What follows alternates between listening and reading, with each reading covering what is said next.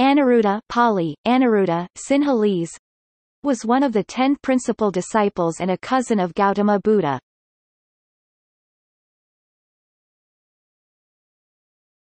Topic. Early years Anuruddha was the son of Amitodana and brother to Mahanama.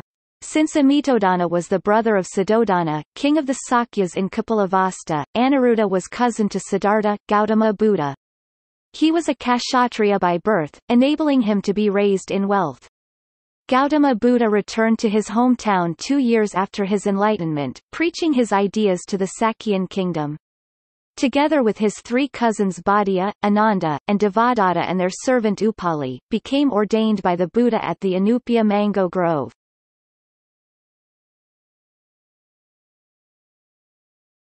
Topic. Religious life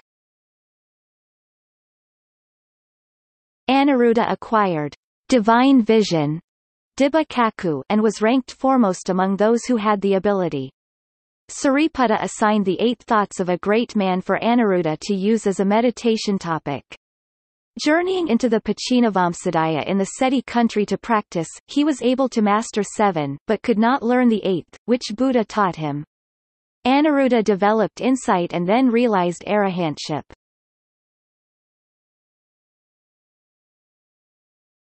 Topic. Depiction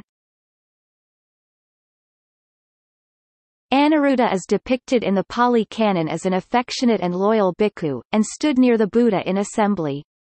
At one point, when the Buddha was disappointed with the arguments of the monks at Kosambi, he retreated to Pachinavamsadaya to stay with Anuruddha. In many texts, even when a large number of distinguished monks were present, Anuruddha is often the recipient of the Buddha's questions, and answers on behalf of the Sangha.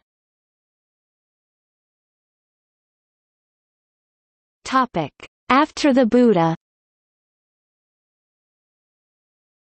Anuruddha was present when the Buddha died at Kusinara. He was foremost in consoling the monks and admonishing their future course of action, reminding them of the Buddha's decree to follow the Dharma. As the Buddha was reclining and going through the jhanas, Ananda said to Anuruddha, The Exalted One has attained final nibbana, venerable sir. Anuruddha, having divine vision, stated that the Buddha was absorbed in the state of cessation, but had not yet died. Anuruddha was consulted by the Mallas of Kusinara regarding the Buddha's last obsequies. Later, at the First Buddhist Council, he played a notable role and was entrusted with the custody of the Anguttara Nikaya. Anuruddha died at Velavagama in the Vajji country, in the shade of a bamboo thicket. He was 115 years old at the time of his death.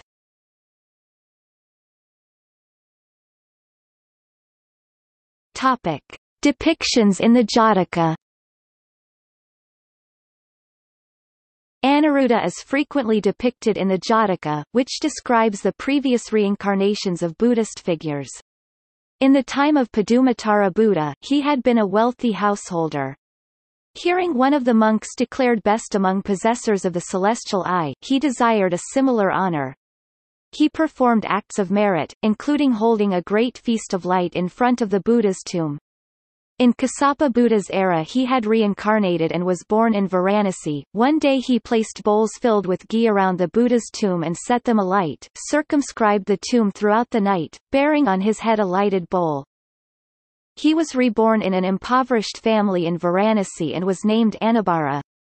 One day, while working for his master, the banker Sumana, he gave his meal to a Pratyekabuddha, Uparitha.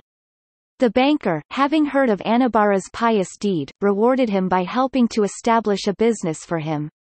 The king, impressed, gave him a site for a house, and when the ground beneath was excavated, yielded much buried treasure.